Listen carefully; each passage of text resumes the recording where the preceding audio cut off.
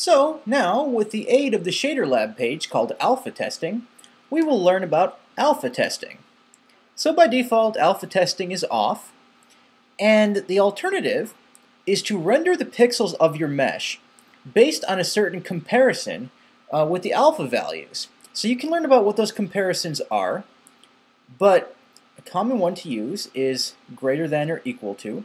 So what we will do is utilize a shader with that. So we'll put in alpha test greater than or equal to a cutoff.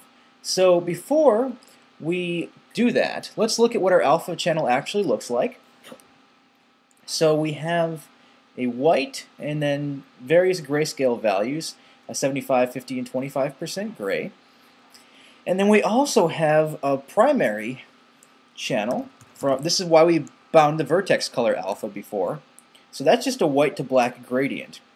So what we're going to do is put a multiplication of the alpha channel of the texture with the four blocks and this gradient together into the alpha channel, and you'll see why that's a should be a good illustration. Uh, what we will do is combine the texture alpha uh, times the primary alpha, which is going to show us in the RGB channels what the alpha channel looks like. So the alpha channel, although that's not actually rendered um, in RGB on screen, you don't see that, it actually looks just like this to the computer. So now we're going to as I said, utilize this, this test. Um, so cutoff is going to be a value we get in through range. So we call that alpha cutoff. And range between 0 and 1 because this is black, this is white in your alpha channel. So let's go ahead and see what that slider does. So we're going to, going to take alpha cutoff, start off at 0. So that means that anything that is greater than or equal to 0 in the alpha channel will be rendered which of course is everything. Everything is black or greater. And then we'll start moving this to the right. And we're seeing the very darkest values here. Mixture of the dark grays and a dark uh, gradient near the bottom, the darker area of the gradient. Um, we're seeing all those values get cut off. And so this mesh is not actually rendering there, or rather the pixels are not being written to the screen. So as we drag further and further up, we'll eventually lose all of our mesh when the slider's all the way up to 1, um, okay, so we see this one line because that's greater than or equal to. So if we change greater equal to just greater, then it would have to be greater than 1, and now we no longer see anything. So you have to figure out what is actually useful for you in your own uh, renders. Go ahead and move that slider back down. And we'll see what the benefit of this is, because we're not, again, blending anything. It's just a, this pixel gets rendered or this pixel doesn't get rendered sort of thing. So we'll turn this mesh, mesh renderer off for now. We'll turn the other mesh renderer on. So there's the alpha channel of that multiplied by the gradient. And start moving that slider. So black, we have black pixels here, and as soon as we move the slider to the right, then that gets cut off. We're seeing through the mesh now because all that black stuff is not allowed to render. And then as we move to the right, we're losing more and more pixels until we get to the top. So let's alter the shader to see what we actually would uh, want to see. We're not going to be looking at the alpha values in the RGB anymore. We'll just be looking at the color of the texture.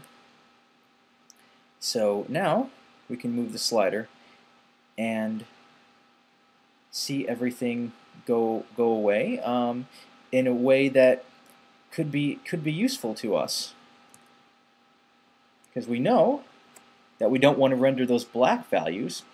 This is more of just an illustration to see how it works, but we definitely don't want to see that black, so let's go ahead and say, we'll make it greater. So now, even with the slider at zero, then those pixels don't render. So we're going to render the four pixels again on screen, and we'll change that alpha value. And we'll see that we can see through the bottom here. There's no blending once again. Um, it's just a cutout. And everything looks good from front to back. Now we're going to look at the other side. And again, because of no blending, everything's rendering in the right order. We're still we're writing to the depth buffer. We're performing depth te tests, and everything's actually opaque. So it works out perfectly. The rendering order doesn't matter. The order of the mesh is rendering doesn't matter at all. It's all just based on uh, writing to the screen by, based on that alpha value. So can be quite useful in many cases. Now, this is a tutorial series specifically about iOS, so I need to mention to you that although you'll see Unity shaders that don't even use a tag, uh, queue tag, to change the rendering queue, which means they're leaving these alpha test shaders in geometry, you do not want to do that on the iPhone. And that's because the iPhone has something that is called tile-based deferred rendering, and that means that these pixels um, we were talking about the depth buffer before and how pixels may get, might get written to this written to the uh, color buffer and then overwritten. Um, this won't happen on the iPhone. Those pixels never actually get written to anything. They all get kind of mixed together, jumbled together in a way that I don't fully understand myself. But I know that they don't get written to the screen until everything's been collected. So if you're doing alpha testing, that sort of breaks breaks what the hardware is made for.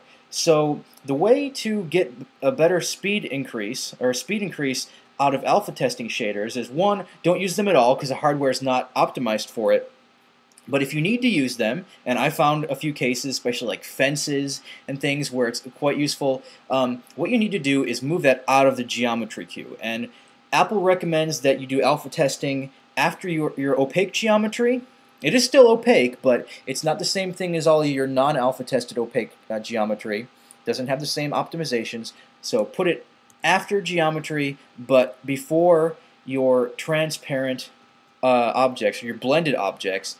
So you probably wouldn't want this in the transparent queue. You might do say transparent minus 100 or 500 or whatever. Geometry here's right in the middle of geometry and transparent. So doesn't have any visible effect on screen whatsoever because again, it's not blending anything, so you don't need to worry about the order of things here. Um, so as long as this isn't being rendered after your transparent objects, then uh, you don't have any any real uh, change to worry about. But this does help you. It should help you get higher frame rates in the case that you need to use an alpha testing shader.